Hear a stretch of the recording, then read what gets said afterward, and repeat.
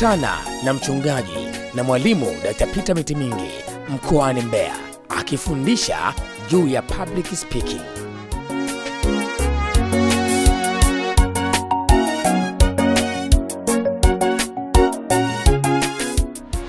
Sehemu kubwa ya ubora wa mzungumzaji bora hauko madhabahuni, hauko jukwani.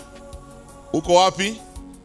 Kwenye maandalizi, ili uweze kusimama hapa tunapozungumza ujasiri. Kitakachokupa pia ujasiri wa kuzungumza kwa watu kwa, kwa kujiamini ni namna ulivyojiandaa kabla hujaja hapa.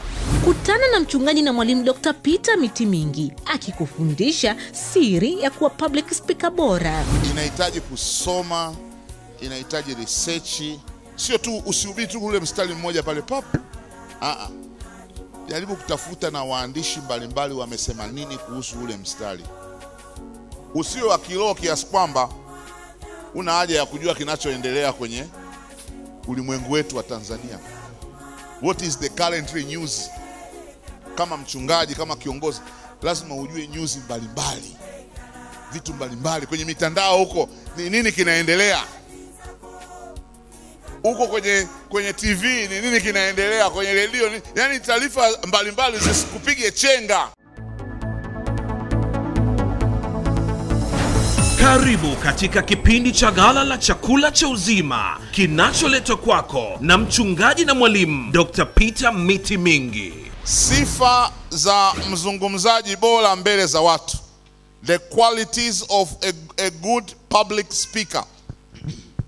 Ili tuseme mzungumzaji mzuri wa watu mbele za watu, sifa zake ni zipi, ambazo ndio kila mmoja anatakiwa azikumbatie. Hizi sifa za mzungumzaji bora mbele za watu ziko kadha wa kadha. Namba moja, kuwa mzungumzaji bora, yani public speaking speaker haianzii kwenye steji au madhabauni, inaanzia kwenye maandalizi. Kwa hiyo uzungumzaji bora hauanzii hapa, jinsi unavyosimama, jinsi unavyoshika maiki, jinsi unavyoongea, jinsi unavyoelezea. Aa, ukija kuanzia hapa utakuwa umekosea sana. Sehemu kubwa ya ubora wa mzungumzaji bora hauko madhabahuni, hauko jukwani. Uko wapi? Kwenye maandalizi. Na hapo chini ya namba moja kuna mambo kadha wa kadha ambayo nataka tuyapitie. La kwanza chini ya namba moja, maandalizi ya wasilisho lako, maandalizi ya spichi unayokwenda kuiandaa. Kwa hiyo hatuanzii kutu ili uweze kusimama hapa tunapozungumza ujasiri. Kitakachokupa pia ujasiri wa kuzungumza kwa watu kwa, kwa kujiamini ni namna ulivyojiandaa kabla hujaja hapa. Ukija mbele hapa bila kujiandaa utapoteza ujasiri, na mtu anaweza akakuuliza kaswali kadogo kakakutoa nje ya barabara. Mtu anaweza akakuuliza swali kidogo ukaanza kugombana naye ukafikiri yani anakupima ana, anakuona jinsi ujui na nini, kumbe ni wewe tu hujajiandaa. Kwa hiyo maandalizi ya wasilisho lako, speech unayokwenda kuizungumza, umetumia muda gani kuiandaa? Umetumia muda gani kuandaa? Nilikuwa kule Texas, Dallas, nikamsikia uh, yule mtumishi anaitwa TG Jakes akasema mahubiri anayohubiri Jumapili, mahubiri anayohubiri Jumapili kwa, kwa dakika arobaini au kwa saa moja anatumia masaa nane kuyaandaa. Masaa mangapi? Nane kwa ujumbe ambao watahubiri kwa dakika arobaini au saa moja.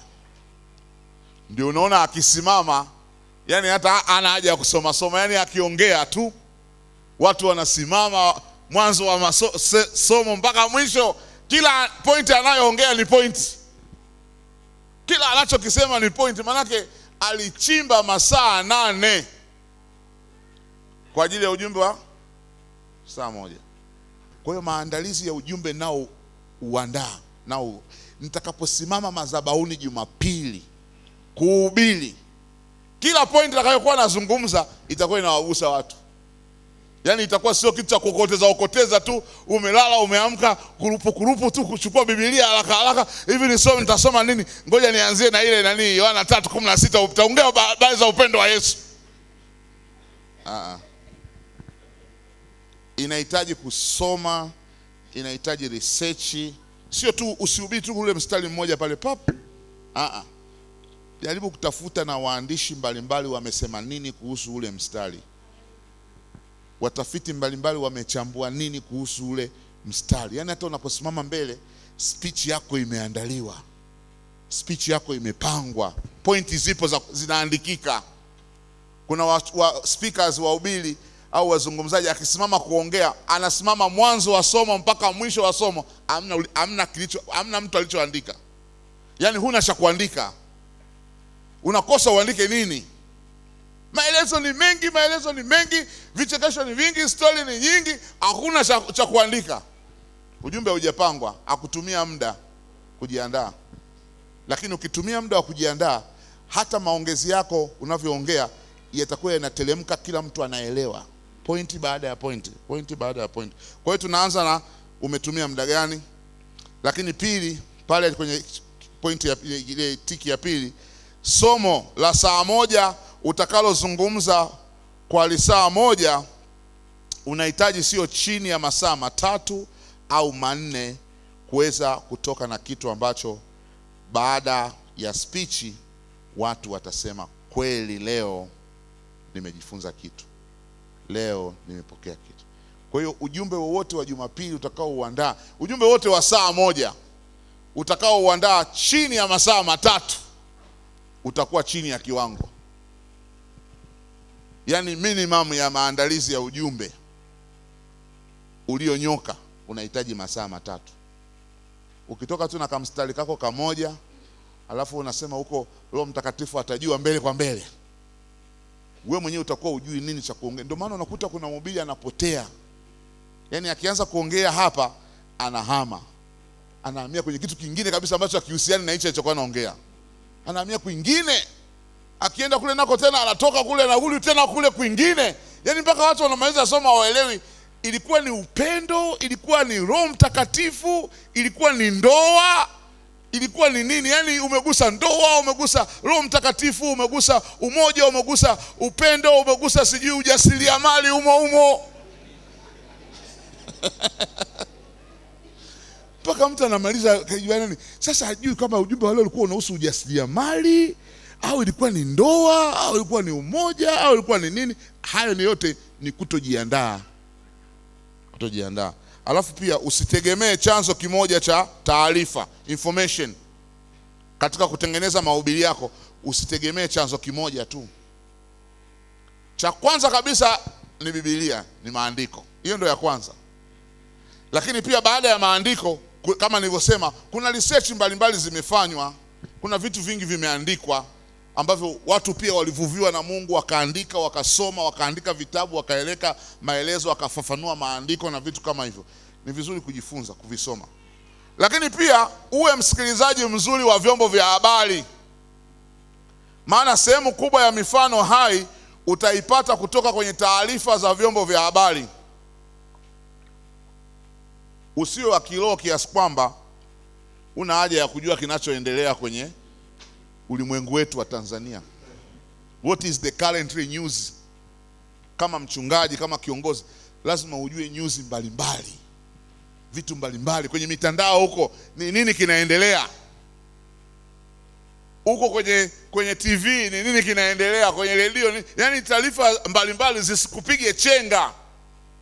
Kwa sababu unaongoza watu wa aina mbalimbali, na kuna taarifa zinaweza zikatoka nje huko zikawa confuse watu, wanasubiria mchungaji atasemaje, mchungaji atatoa tamko gani, kumbe wewe hata kusikia hujasikia.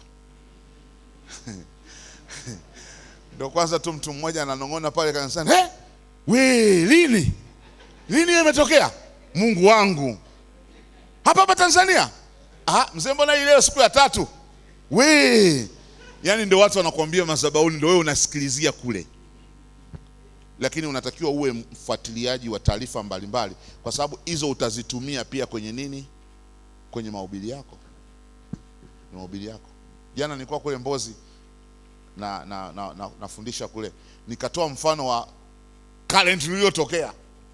Wa kwenye TV ya vyombo vya habari vimeandika vimezungumza, nikatoa mfano wa namna ya kutumia madaraka vizuri, namna ya kutumia madaraka vizuri, na nikatoa mfano, nikamtolea mfano Kange Kange Lugola, na nikawauliza wachungaji pale, wangapi wanamfahamu Kange Lugola?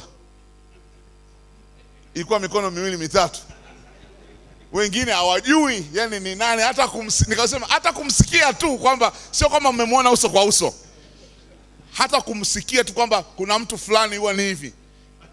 Hamna yani ni wachache wawili watatu ndio walinyosha mikono. Wengine wanasema hata kumsikia ndio kwanza wananisikia mimi nazungumza hilo jina. Lakini mambo yako kwenye nyuzi mambo yako kwenye vyombo vya habari wachungaji wanasikiliza hawasikilizi. Lakini ukiwa unasikiliza kuna vitu vingine unavitolea mfano live. Mheshimiwa magufuli alisema hivi. Alisema sitaki mtu afanye mchezo. Alisema wewe ni rafiki yangu na mimi nilikuwa nafundisha kanisani bible study last week. Nikawaambia mimi mimi tukifika kwenye eneo la kazi sinaga urafiki unaoharibu kazi. Mtu yoyote ambaye ni rafiki yangu sana lakini anasababisha kazi inaharibika. Mimi na yeye urafiki hatuwezi kuwa naye. Hatuwezi kuelewana. Kwa hiyo nilitoa mfano nikasema mheshimiwa magufuli alisema akasema Kangi ni rafiki yangu na ni mwanafunzi wangu, nimemsomesha na ninampenda sana, lakini kwa hili sina, siwezi kuvumilia. Kwa ili atanisamehe, si ndivyo alivyosema? E, kwa hiyo mimi nitoa huo mfano wa kuwaonyesha washirika kwamba ninapoingia kwenye kazi niko serious na kazi, simwonee aibu mtu yoyote. Nikasema, nikamwambia mimi na Magufuli hivi yaani atumwonei mtu haya. Ukiharibu kazi, sitaangalia wewe ni nani, utachukua hatua zinazostahili. Sasa huo mfano niliweza kuutoa kwa sababu ninajua kinachoendelea, niliona. Kwa hiyo wachungaji, tusizame sana kwenye maombi tukasahau taarifa za habari, tusizame sana kwenye maombi tukasahau kwamba tuko duniani na kuna vitu vinaendelea ambavyo tunatakiwa tuvijue, ili tunapozungumza mbele za watu viwe ni sehemu ya mifano itakayokuwa mifano hai itakayowafundisha watu juu ya jambo fulani. Na jambo la pili chini ya hiyo namba moja katika neno hilo la maandalizi, hapo nilikuwa nazungumzia kwanza maandalizi ya wasilisho speech, lakini cha pili unachotakiwa kujiandaa kama mzungumzaji bora, maandalizi yako mwenyewe, kujiandaa kisaikolojia. Kujiandaa kisaikolojia ni kwamba Jumapili nitahubiri, Nita- nitasimama pale, yani unapata unaanza kupata picha, nitasimama e, nitaanza na na ujumbe fulani, nitaanza na mfano fulani, yani unaanza kupata picha, nitakaposimama itakuwa hivi. Haya inaitwa maandalizi ya kisaikolojia. Haijafika siku usomi mahali popote, lakini kisaikolojia, kiakili, akili yako ina, inakuwa prepared, yani Jumapili ikifika haitakuwa surprise. Akili imesha process kwamba Jumapili na ubili, Jumapili na ubili, Jumapili na ubili. Kwa hiyo kuna kujiandaa kisaikolojia, kujiandaa kiakili, akili yako ijue, kujiandaa kimavazi, mwonekano wako kulingana na matarajio ya wale unaokwenda kuwahudumia. Kama nilivyowaambia, nilibeba hizi suti kwa ajili ya nani? Kwa ajili yenu Nilibeba suti nne, suti mbili za Mbozi nimeshawavalia Mbozi.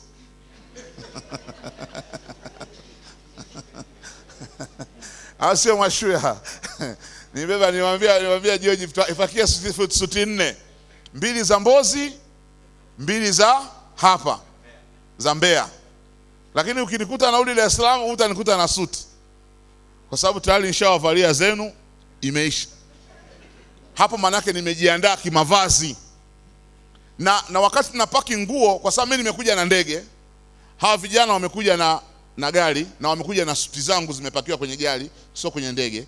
Kwa hiyo nikabeba shati lingine ambalo ni la ziada, nikasema naweza nikafika Mbeya, gari imeharibika njiani, na mimi natakiwa nisimame nihubiri, nifundishe, na mimi nimekuja na t-shirt.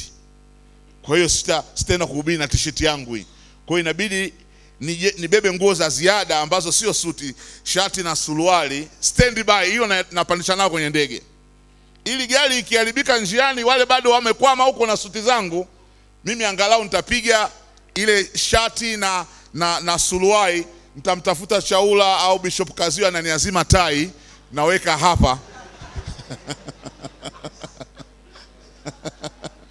nasimama, somo linaendelea, angalau itakuwa afadhali kuliko kukosa hata shati la mikono mirefu.